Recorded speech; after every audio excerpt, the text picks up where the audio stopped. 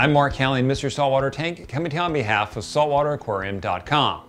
The day has arrived. The day you get to fill your new saltwater tank and make it salty. There are a couple ways to get that done, and I'll walk you through each of them. Way number one, get water out of your buddy's saltwater tank. This approach seems to make sense as their tank is already established, but it comes with a risk I'll help you avoid. The risk of fish diseases. Even if your buddy's fish look completely healthy and your buddy promises you that they are healthy, you can't be 100% sure. Better to err on the side of caution and keep any potential fish diseases out of your tank. Thanks bro, but no thanks. Way number two, buy pre-mixed saltwater from your local fish store. Most local fish stores that have a saltwater section also sell pre-mixed saltwater. It's convenient and usually not very expensive. You're gonna need some five gallon jugs to fill the tank unless you wanna make several trips. If you don't wanna get your hands wet, which is strange because this is a hands-on hobby, this is the route for you.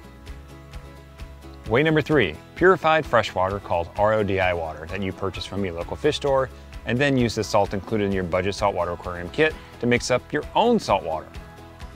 This is a good route if your local fish store doesn't sell saltwater. Way number four, Purchase an RODI unit to purify your water before adding salt. An RODI unit removes chlorine and contaminants from your tap water, making the water coming into your saltwater tank very clean. Using RODI water can reduce the risk of algae outbreaks and keep pollutants out of your saltwater tank, so why am I not recommending you only use RODI water for your tank at this point? Because this is a budget saltwater aquarium build and you're just getting started. You may not want to spend the money on an RODI unit and make the effort to install it and maintain it. If that's you, Keep these things in mind. Number one, as you progress through your saltwater tank career, you're going to want an RODI unit. Therefore, keep it on your wish list. Number two, using tap water for a saltwater tank is a calculated risk. By using tap water, your tank can be more prone to algae outbreaks, especially if your tap water is of poor quality. And in this series, I'll show you how to manage your tank so that algae outbreaks are less numerous if they happen at all. Now, would I like to see you using RODI water? Yes. Is everyone going to do that? No. And instead of being a stick in the mud and saying the only way for your tank to be successful is to use RODI water, I'll educate you on how to manage your tank, knowing that you use tap water for the time being. Note when I say tap water, I mean dechlorinated tap water, which is the next way to fill your saltwater tank.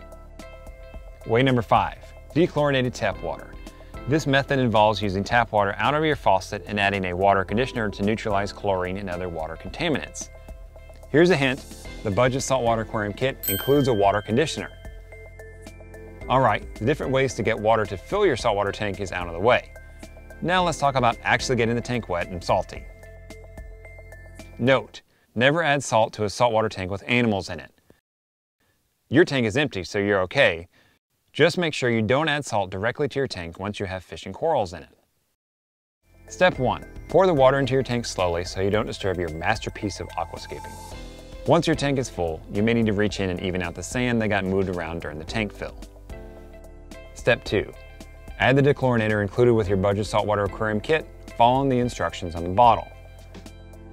Step 3. If you didn't buy saltwater from your local fish store, add about a quarter of the bag of salt in the bag that came with your budget saltwater aquarium kit. Don't go overboard, one quarter of the bag is fine for now. Now is the time to place the hang-on bag filter, insert the media pad, and fill the filter with water. Plug in the filter and make sure water starts flowing through the filter. Next, add the heater. But wait, the kit includes two heaters. Which one do you use? The budget saltwater aquarium kit that I've laid out for you comes with an upgraded heater. Why did I upgrade the heater? Because heater failures are the number one source of aquarium emergencies. Therefore, I upgraded the heater to give you a more reliable heater. And this is a heater that you can keep with you as you upgrade your tanks. As for the smaller heater that came with your kit, keep it around because you're gonna need it for a topic that I'll cover in a future episode. Set the temperature on the heater by turning the red dial on the top of the heater to 77 degrees. Then install the heater in the tank and plug it in. The orange light on the heater will turn on if your water needs heat. Pro tip, water and electricity don't mix. To help prevent water from your tank getting into electrical outlets, install a drip loop. The drip loop is nothing more than a section of the electrical cord that extends below the electrical outlet. If water was to drip down the cord, the water will stop at the drip loop and avoid the outlet. Next, install the thermometer included on the kit. Here's a hint, the thermometer goes inside the tank and the magnetic round piece goes on the outside. Now wait until your tank heats up to around 77 degrees. Anywhere from 76 to 80 degrees is fine. Once your tank is up to temperature and the filter is running, you'll need to see how salty the water is in your tank. How salty your water is is called the salinity of your water, and you check the salinity of your water with the refractometer that I included in your budget saltwater aquarium kit. Now the refractometer is another upgrade that I made for you. You can use this refractometer on the budget tank and throughout your saltwater tank career. And refractometer is a lot more accurate and reliable than those swing arm hydrometers. I'm setting you up for success. That's why I got you a refractometer. To use a refractometer, first calibrate it with the included calibration fluid.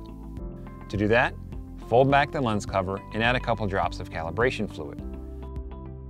Then close the lens cover, making sure there are no air bubbles trapped between the lens cover and the lens. Then look through the eyepiece on the refractometer and look for the blue horizontal line.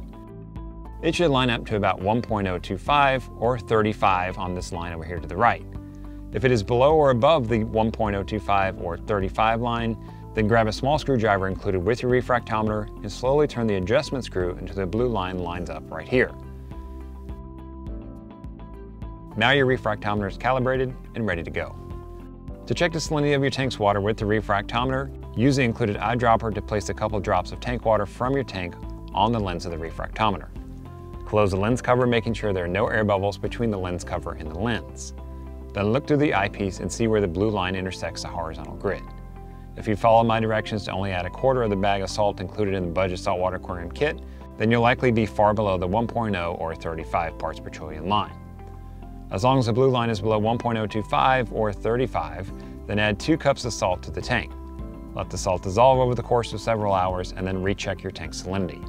Add salt as needed until you're up to 1.025 or 35 parts per trillion. If all that refractometer stuff sounds too complicated to you, or you'd like a nice upgrade to your saltwater tank program that you'll use forever, the Hanna Salinity Tester is for you. With the Hanna Salinity Tester, all you have to do to check your tank salinity is stick the tester in your tank's water and you got a salinity reading. Done and done. Once you've reached the 1.025 or 35 parts per trillion range, and your tank's temperature is between 76 and 80 degrees Fahrenheit, you're ready to cycle your tank, which we'll discuss in the next Budget Tank Series episode.